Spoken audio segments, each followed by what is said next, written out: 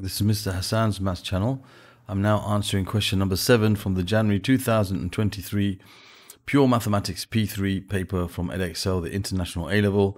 Here we're given a curve which has equation x equals 3 tan y minus pi over 6. So this is an equation where x is in terms of y, where x is a real number and y has values between minus pi over 3 and 2 pi over 3. And we're told um, to show that dy dx equals a over x squared plus b. So basically, they've told us to find dy dx in terms of x. Sometimes they could uh, write the question, find dy dx in terms of x. All right, so now, basically, what you could do is you could try to make y the subject of the formula, all right, and then find dy dx. The problem being is we'll have something in terms of inverse tan and we don't have any um, results for inverse tan. Okay, and it's something which actually we could, if we wanted to, go further along the, the formula book and look at some of the results in the further maths section, where they do have results for the, the differential of inverse tan and inverse sine and inverse cosine. However, I want to teach you how to do this as if you you haven't seen those results and not relying on those results and understanding how to do it from the uh, you know, from the first principles from the beginning. I think that's way better for you, for your understanding. And so that's what I'm going to do. I'm going to show you two different methods of finding this result and finding what A and B are using this uh, method where we, are going to work from the beginning. So the first thing I would do here is instead of finding dy dx, I will find dx dy, but it will be, of course, in terms of y. All right. So if we have, first we find dx dy, now, when you find dx dy, this is like three times tan of something. And one of the results that we have for the tangent of theta, if you differentiate it, if this is f of x, this is one of the results we have in the formula book. You can find it there. Um, this is going to give you sec squared theta. It's something that you should remember and know. Okay, so this gives you sec squared theta. All right, and um, this is derived from sine theta over cosine theta and using the quotient rule. Okay, when you differentiate, this is u, this is v, you can derive it, but we don't need to do that. Okay, so um, it's derived from from this, you know, using tan as sine theta over cosine theta, and then using the quotient rule. Okay, you end up with sec squared theta. So this 3 tan of the angle y minus pi over 6 will differentiate to give you 3 times secant squared of y minus pi over 6 and we have to check if there's some function inside the function that we differentiate. When you differentiate what's inside the function, you get 1, so that there's nothing to multiply this by. So that's dx dy. In the end, I'm going to write dy dx, but I'm going to, first of all, find out what sec squared y minus pi over 6 is in terms of x. In terms of x, because our answer has to be in terms of x. If the question said, just find dy dx in terms of y, then our answer would be just 1 over this. Right, so now, what I'm going to do now is I'm going to uh, use two methods. I'm going to first use a method which involves using um, identities. Identities. Okay, I'll try and write neatly for once. Okay, or neatly as I can. So I'm going to first try to deal with identities. Now, we have tan of something and we have the secant of something. All right, secant squared of something. How are tan and secant related to each other with identities? Well, there is an identity that links them together. And if you forget what that identity is, you can go back to the origin, the original identity. Sine squared theta plus cosine squared theta equals 1. This is one of the original identities that you must know. All right. And don't confuse it with sine theta plus cosine. Don't think it means that sine, sine theta plus cosine equals 1. That's wrong. That is not true. And many students will say, "Sir, but if you different, if you if you find the square root of both sides, you're going to get this." No, you're not. Okay, if you find the square root of both sides, you're going to get this. Okay, that's what you're going to get, and they're not the same as sine theta plus cosine theta equals one. Just like if you have three squared plus four squared equals five squared, if you find the square root of both sides, you don't get three plus four equals five. That's not true. This is true. This is not true. You will get the square root of three squared plus four squared equals five. That's what you would get. All right. So, because they're separate terms, they're not like one term. So that's why you can't do that. So be very careful not to write sine theta plus cosine theta equals 1. It's sine squared theta plus cosine squared theta equals 1. So you take the sine of an angle and you square that result. And you take the cosine of that same angle and you square that result. Will always add up to give you 1. Okay, so now, where was I? Okay, so we have to link tan theta and sec squared theta. So if I want to have tan theta, I know tan theta, the other main identity is tan theta equals sine theta over cosine theta. So if I divide every term by cosine squared theta, I'll end up with a tan squared theta here. This will give you 1. And I'll have 1 over cosine squared theta, which is it's, it's a reciprocal function with sec squared theta. So this gives you tan squared theta plus 1 equals sec squared theta. And so that is the identity that we're going to use to link these two together. Okay, so now what I know is, let me take what we get, what they gave us. They told us that x equals, they told us that x is equal to 3 times the tan of the angle y minus pi over 6. So what I'm going to do is I'm going to make tan of y minus pi over 6 the subject of this. So I can say x over 3 equals 3 times the tan of y minus pi over 6 sorry, equals, I've divided by 3. My bad. So that's going to be x over 3 equals tan time tan of y minus pi over 6. So that's what the tan of y minus pi over 6 is. So if I take this identity, I can replace this with x over 3. So I have x over 3 squared plus 1 equals secant squared theta.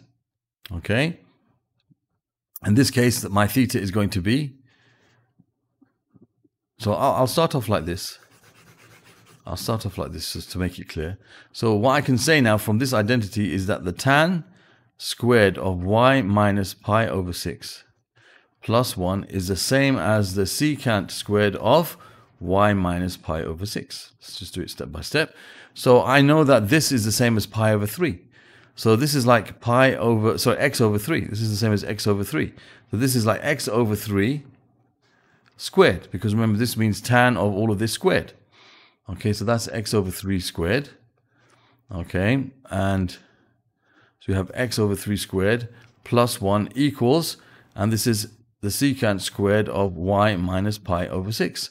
And that's what I'm looking for. So this is basically, if I, if I just simplify that as x squared over 9 plus 1 equals secant squared of y minus pi over 6. So I can say, therefore, the secant squared of pi minus y over, sorry, y minus pi over 6. Secant squared of y minus pi over 6 is equal to, if you make this into one fraction, this is 9 over 9, so you have x squared plus 9 over 9. So I can replace this, all of this here, this can be replaced, all of this can be replaced with this okay, they can be replaced. So I can say now that dx dx dy is equal to 3 times x squared plus 9 over 9. x squared plus 9 over 9. And the 3 cancels with the 9. Remember, this is like 3 over 1. That gives you 3 here. So we say dx dy is equal to x squared plus 9 over 3. Therefore, dy dx is equal to 3 over x squared plus 9, which is what we had to show and find the value of a and b. So there's a and there's b. We can write if we want a equals 3 and b equals 9. So there's the answer to this question.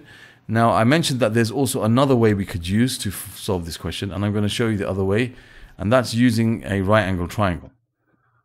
Okay, so we use identities uh, another method, which I actually prefer, but most students like identities, um, is using a right angle triangle. Right angle triangle. Okay, now for that, we start off in the same way. We have x equals, we start off with x equals 3 times the tangent of y minus pi over 6.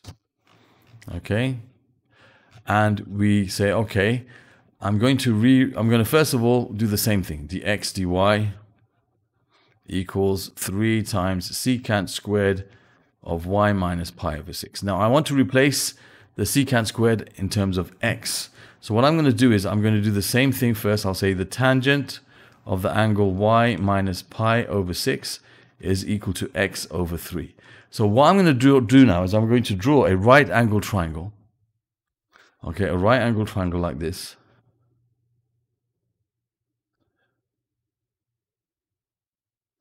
And so you have a right angle here. I'm going to call this angle, the angle here, which is y minus pi over 6. And I'll think to myself, the tangent of y minus pi over 6 is equal to x over 3. So in this case, that would be the opposite and that would be the adjacent if it was in a right angle triangle. So that would be x and that would be 3, which means that this hypotenuse would be the square root of the sum of the squares of the two shorter sides, which is x squared plus 3 squared, which is 9. Okay, so now I can find out what the secant of this angle is. So I can say the secant of y minus pi over 6, which is this whole angle here. Now it's the inv- it's the uh, reciprocal, sorry, of the cosine of this angle. Now the cosine of this angle would be the adjacent over the hypotenuse. This is adjacent, this is the hypotenuse. So the secant is going to be hy- hypotenuse over the adjacent. So it's going to be the square root of x squared plus 9 over 3. Okay, um, so that's going to be the secant of this angle. So we can say dx dy is equal to 3 times. Now it's going to be, this is the secant, we want the secant squared. So it's going to be basically the square root of x squared plus 9 over 3 squared, because this is secant squared, and this is secant of the angle. So that will give us dx dy equals 3 times, and you have x squared plus 9. When you square that, you're going to get x squared plus 9 over, and when you square 3, three you're going to get 9. The 3 cancels with the 9, leaving with 3. So we can therefore say, therefore dy dx is equal to the reciprocal of this, because this is dx dy, 3 over x squared plus 9. And we get the answer as we did before. When we used the identities, we ended up with the same answer, 3 over x squared plus 9. Okay, so there's two different ways of, of solving this problem. There's actually a third way, just looking at the formula later on in the formula book and try to relate it to this. That can get a little bit complicated when you're trying to figure out and when you angle like this, but um, you know, that's possible to use that. But I don't like to teach the students just to use a formula. I, like you to understand what's going on and how you get this. And these are two different ways of doing it. So I'm going to leave it at that for part A. Okay, now for part B of question number seven we are told um, the point P with y coordinates pi over 3 lies on the curve C, which has given this equation here. Given that the tangent to C crosses the x-axis at the point Q, find in simplest form the exact x coordinate of Q.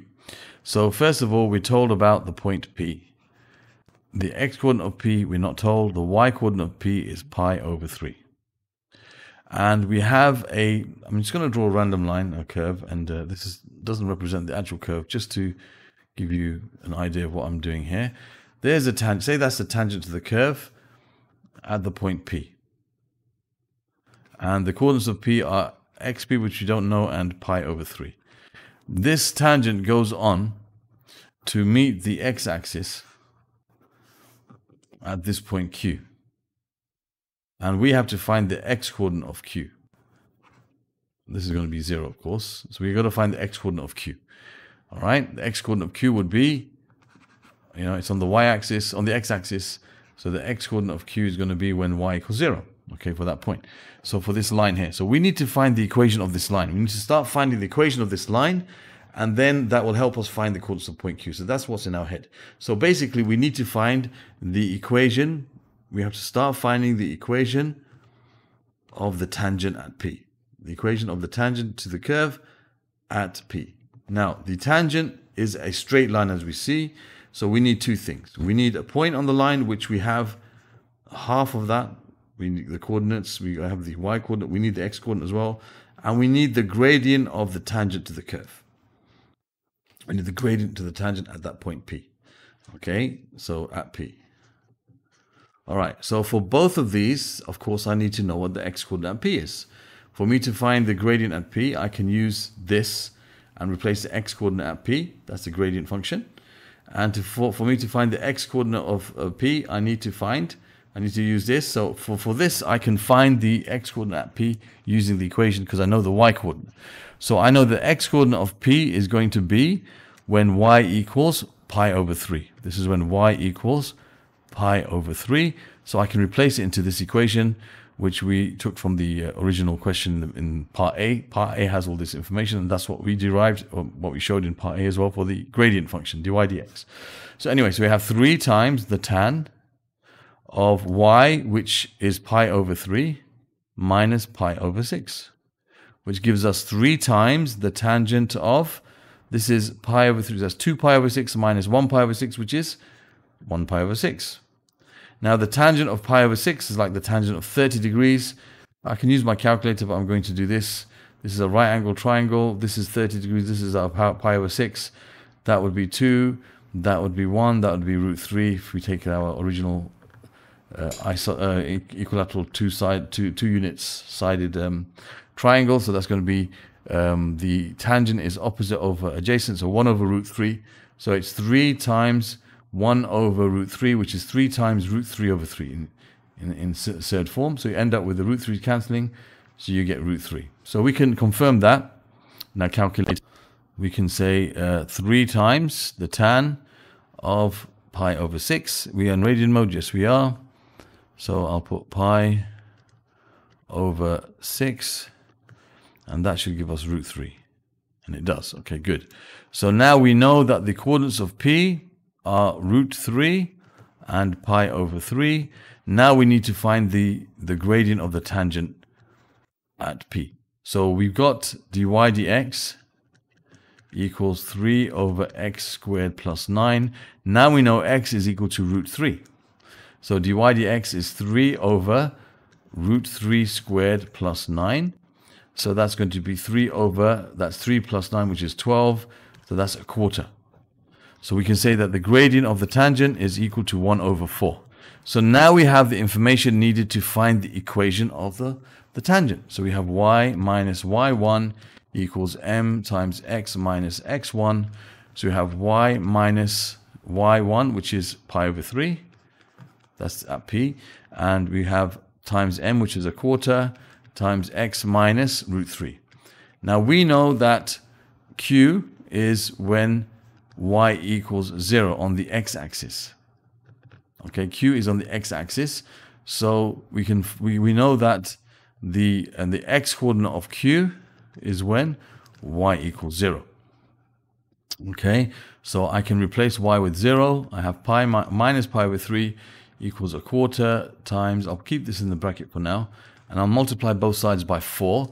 So I get minus 4 pi over 3 equals x minus root 3. So therefore x is equal to root 3 minus 4 pi over 3.